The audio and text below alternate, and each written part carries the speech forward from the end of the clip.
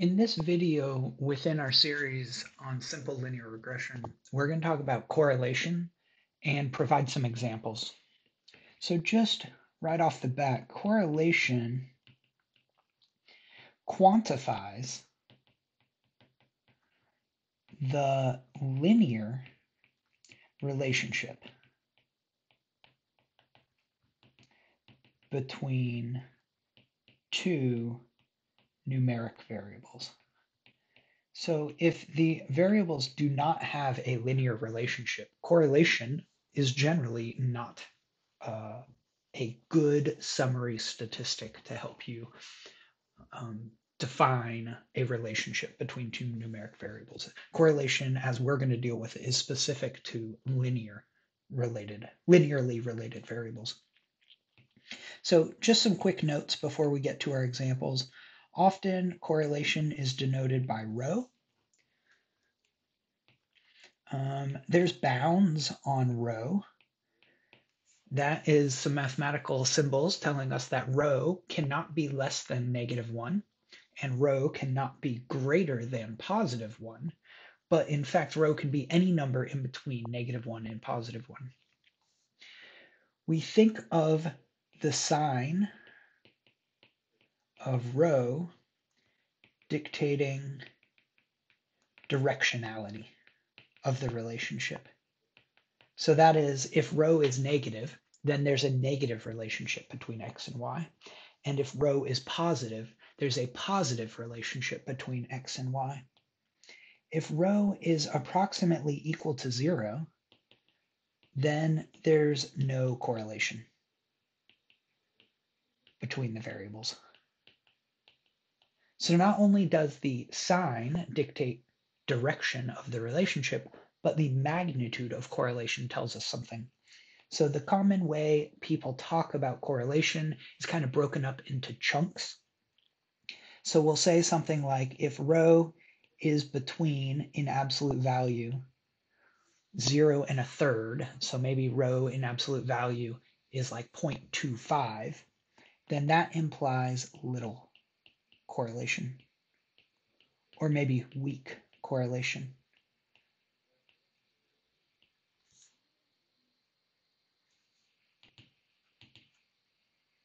Yep, okay. Um, on the other hand, if rho in absolute value is somewhere between 0.33 and 0.66, then we say moderate, that X and Y are moderately correlated or they have moderate correlation. And the last one I'll give is going to be from two thirds to one in absolute value. So if rho is something like negative 0.75, then in absolute value, it's somewhere between 0.66 and 1. And in this case, we say strong correlation exists between x and y. Now, the way I've been encouraging us to think about this quantification of the strength of the relationship is by imagining uh, a scatter plot in front of you and then the simple linear regression line through the data and then asking the question how many like roughly what proportion of observations fall on that line? So what i've done here in r is generated a whole series of plots for various values of rho. And I'll show you the code in a little bit, and I'll even give you the code. I'll post it on Piazza so that you all have it. But what we should focus on is for each new plot, I'm going to post rho as the title of the plot so we can get a good understanding of the corresponding value of rho and what the associated plot looks like. So you can see here there's a bunch of observations from two numeric variables, x and y, laid out on a scatter plot. And I've even plotted the simple linear regression line over the data. And you can see when rho is positive 1, there's a positive relationship between x and y. As x goes up, y goes up. And because there's perfect co positive correlation, all the observations fall on the line. Okay, let's consider the next one where rho is equal to 0.9. Notice now that there's some separation between the line and all of the points. But for the most point, for the most part, many of the points fall very closely to this uh, simple linear regression line. So this is a made up but reasonable depiction of the correlation equal to 0.9. This next plot is a correlation of positive 0.75, so x and y are still positively related, but you can see now there's maybe something like 15% fewer of the points fall on the line. So I'm just going to keep flipping through these plots where the points are going to steadily kind of expand away from the line as rho goes down towards zero.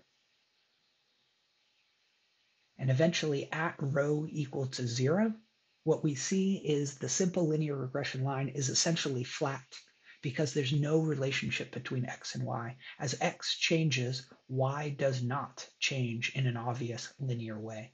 There is zero relationship, zero correlation between x and y.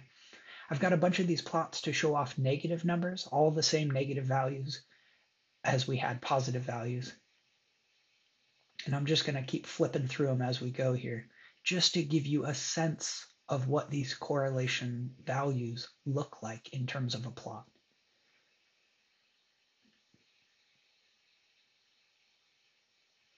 So in fact, I will give you this code.